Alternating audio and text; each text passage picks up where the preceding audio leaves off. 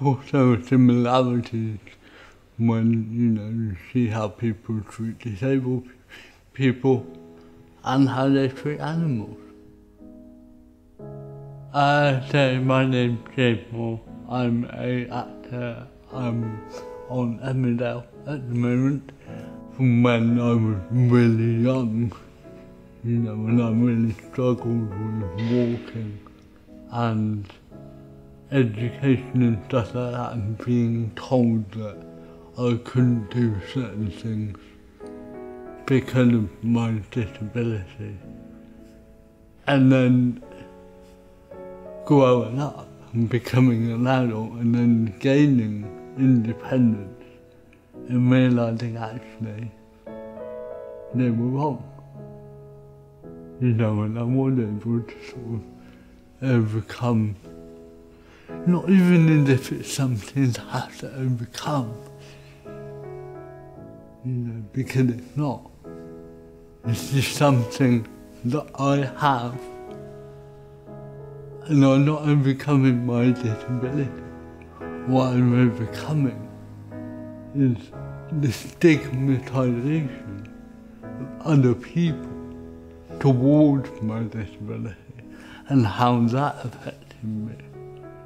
Not my actual disability itself, but their treatment of me and people like me.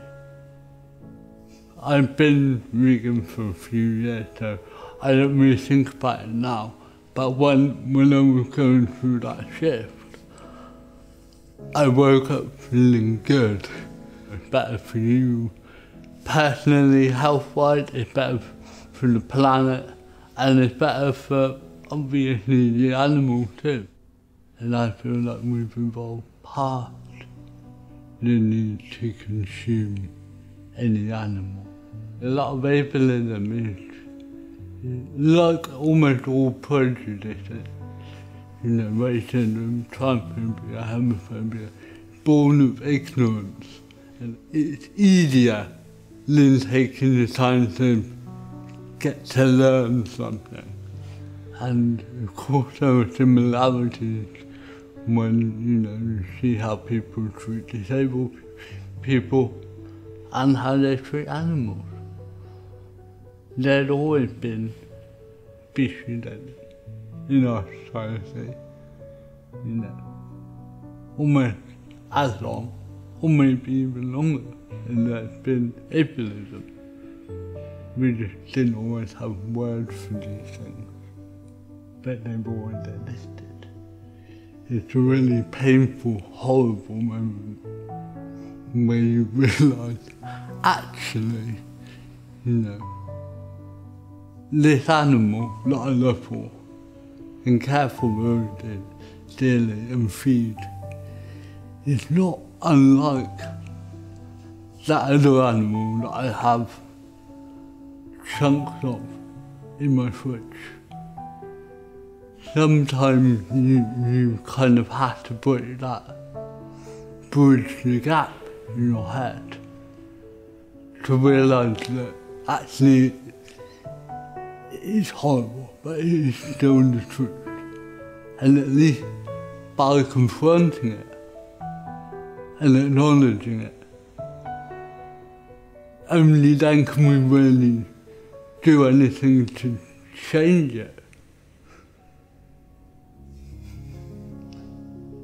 Being disabled overall has definitely given me more empathy in general because I see how how nasty people can be, you know. And um, I built up a certain level of tolerance to these things through self-deprecation and other means.